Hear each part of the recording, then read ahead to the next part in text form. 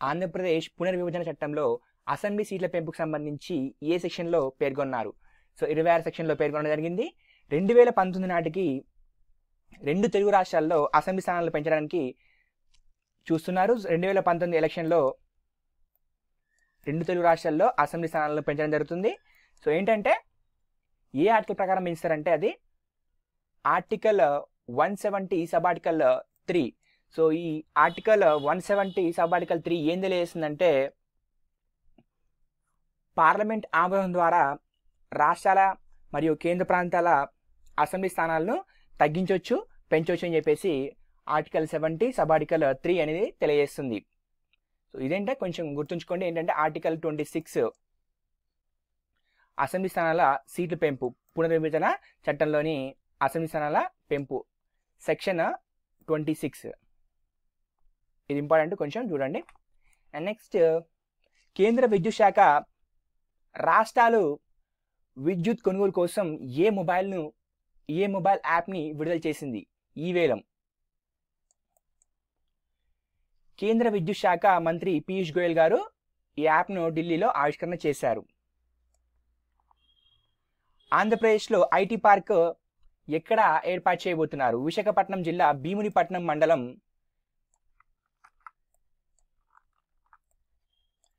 కాపుల ఉప్పాడ వద్ద. ఈ పార్కు పదమూడు వందల యాభై ఒకటి ఎకరాల్లో నిర్మించబోతున్నారు. జాతీయ విపత్తుల నిర్వహణ సంస్థను ఆంధ్రప్రదేశ్లో ఎక్కడ ఏర్పాటు చేయబోతున్నారు? కృష్ణా జిల్లా కొండపావులూరులో. సో దక్షిణాది రాష్ట్రాల్లో సంభవిస్తున్న ప్రకృతి వి- విపత్తులను ఎదుర్కొనేందుకు సో శిక్షణ కేంద్రాలను కృష్ణా జిల్లా కొండపావులూరులో ప్రారంభించబోతున్నారు. ఇది డిజాస్టర్ మేనేజ్మెంట్ కిందకి వస్తుంది.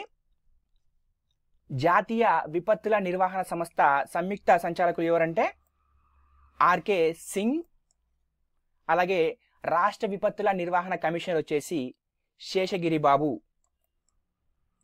సో ఇది కొంచెం ఇంపార్టెంట్ చూడండి. ఇది డిజాస్టర్ మేనేజ్మెంట్లో చూడవచ్చు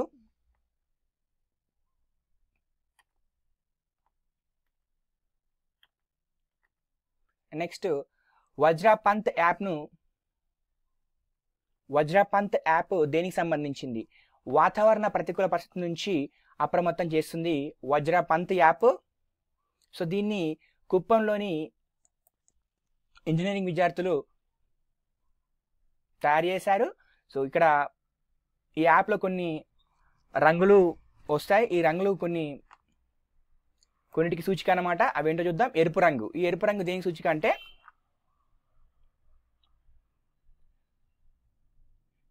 పిడుగు సూచిక. ఎరుపు రంగు వలయంలో ఉన్న కనిపిస్తే ఆ వ్యక్తి చుట్టూ ఎనిమిది కిలోమీటర్ల వ్యాసార్థంలో ప్రమాదం పొంచిందని చెప్పేసి అర్థం. అలాగే నారద రంగులో వలయం ఉంటే ఆ వ్యక్తికి ఆ పిడుగు ఆ వ్యక్తి నుంచి ఎనిమిది నుంచి పదిహేను కిలోమీటర్ల వ్యాసార్థం లోపు ప్రమాదం ఉందని చెప్పేసి అర్థం. అండ్ నెక్స్ట్ పసుపు రంగు వలయం. ఈ పసుపు రంగు వలయం ఏంటంటే ఆ వ్యక్తి చుట్టుపక్కల పదిహేను నుంచి ముప్పై కిలోమీటర్ల వ్యాసార్థంలో ప్రమాదం పొంచిందని చెప్పేసి అర్థం వస్తుంది. సో ఇది పసుపు రంగు. ఈ మూడు రంగు కూడా నారింజ కానీ ఎరుపు కానీ ఈ పసుపు కానీ అంటే పిడుగు రేంజ్ అనమాట. ఈ పిడుగు రేంజ్ ఎంత నుంచి ఎంత రేంజ్ అనమాట. సో ఎరుపు వచ్చేసి ఎనిమిది కిలోమీటర్లు నారింజ వచ్చేసి ఎనిమిది నుంచి పదిహేను పసుపు రంగు వచ్చేసి పదిహేను నుంచి ముప్పై. సో ఆ పిడుగు యొక్క రేంజ్ అనమాట. ఆ వ్యక్తి ఉన్న ప్రదేశం నుంచి అంతలోపు పడవచ్చు అనమాట అంతలోపు.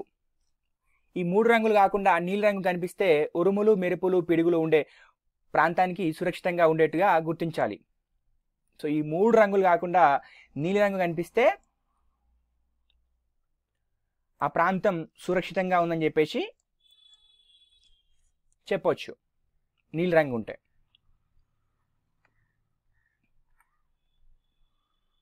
సో ఈ యాప్ని మన సీఎం చంద్రబాబు నాయుడు గారు ప్రారంభించారు. ఆసియా అథ్లెటిక్ ఛాంపియన్షిప్ ఎక్కడ జరుగుతున్నాయి? భువనేశ్వర్. సో ఇలా ఆసియా అథ్లెటిక్ ఛాంపియన్షిప్ జరగడం భారతదేశంలో మూడోసారి. ఫస్ట్ వచ్చేసి పంతొమ్మిది వందల ఎనభై తొమ్మిదిలో ఢిల్లీలో జరిగింది మొట్టమొదటిసారిగా.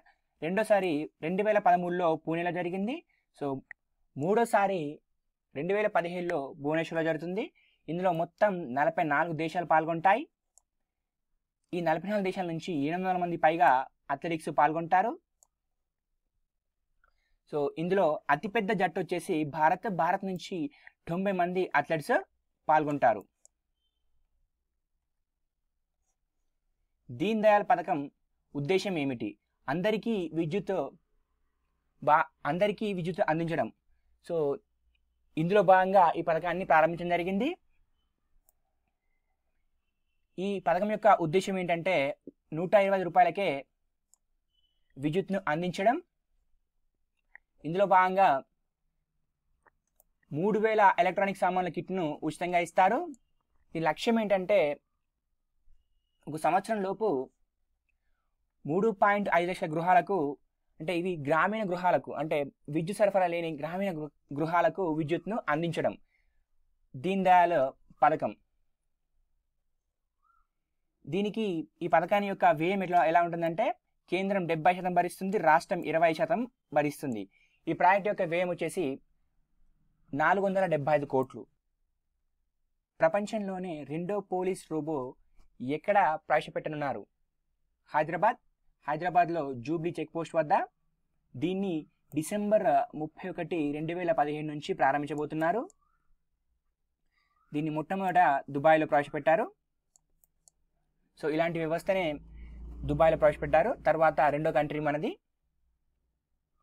దీన్ని రూపొందించిన వారు H bots robotic company so H bots robot robotics company అనమాట దీన్ని రూపొందించింది.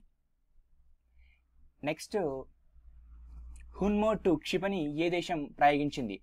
సో అమెరికా దక్షిణ కొరియా సంయుక్తంగా హున్మో టూను ప్రయోగించింది. దేనికి ప్రతీకగా అంటే హువాంగ్ సాంగ్ ఫోర్టీన్ ఇది దక్షిణ సారీ ఇది ఉత్తర Korea Hwasong song fourteen uh, ఉత్తర కొరియా ప్రయోగించింది. దీనికి ప్రతీకగా అమెరికా దక్షిణ కొరియా కలిసి సంయుక్తంగా హున్మో టూను ప్రయోగించింది. సో ఈ రోజు యొక్క స్పెషాలిటీ ఏంటంటే